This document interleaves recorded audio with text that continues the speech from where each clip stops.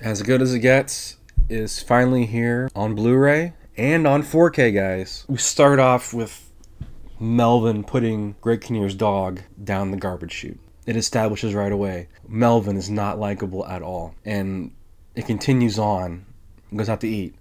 He's mad because he has certain people at his table and he's he, he needs Carol's attention, the waitress played by Helen Hunt. Melvin is just PO'd and then he overhears Carol talking about her son and his his condition and Nicholson delivers the line like, Sir, doesn't sound like your son's gonna make it. And then Carol stands her ground and goes off on Melvin and puts him in his place for maybe one of the first times in his life. And that scene, we were totally on Carol's side as an audience. And to this point, we don't like Melvin, but it's a very key moment in the restaurant where are we going to buy them for the next two and a half hours? And it it achieves it. James L. Brooks, his script is very unique, very risky, very much reliant on the performances. And that scene where Helen Hunt and Jack Nicholson go toe to toe, it establishes that Carol is not gonna mess around and take his crap. She puts him in his place, and then from then on, the characters grow on us. And then in the third act, they team up and they go on a road trip and they have different perspectives shared in the car. The bonding here, the unique character arcs. Carol, she's having trouble dating, finding finding somebody that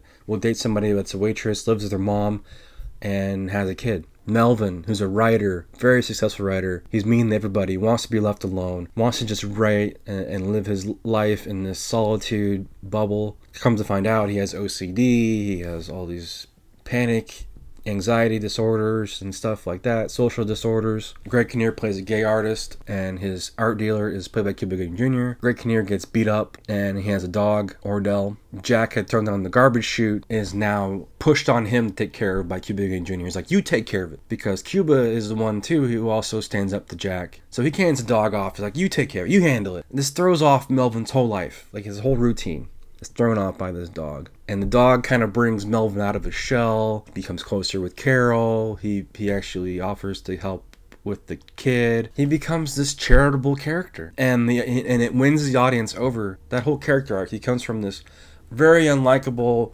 beginning and it, it goes all the way to like we're rooting for Helen Hunt and Jack Nicholson to be together at the end and share warm roles. This is an acting clinic. You could not cast this movie better. You could not have written the script better. I mean, this is just it's it's it's a miracle this movie works. And it's one of those films that was uh, nominated for the heavy stuff, like Best Picture, Best Director, but it was winners for actor and actress, which is a rare feat. And I think Greg Kinnear should have won too. So this is a brand new 4K restoration of the 35 millimeter print loaded with special features. There's commentary featuring James L. Brooks, Jack Nicholson, Helen Hunt, Greg Kinnear, the making of As Good as It Gets, deleted scenes, behind the scenes footage, which I thought was great.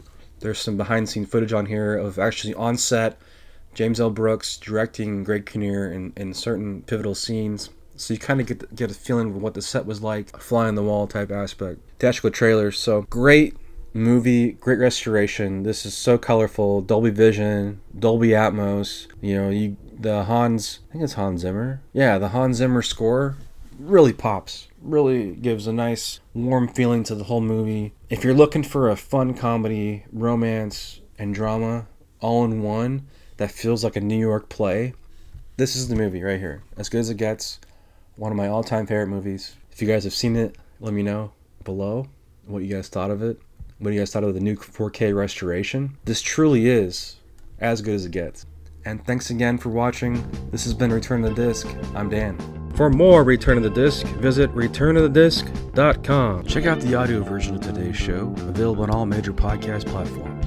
And be sure to subscribe to the YouTube channel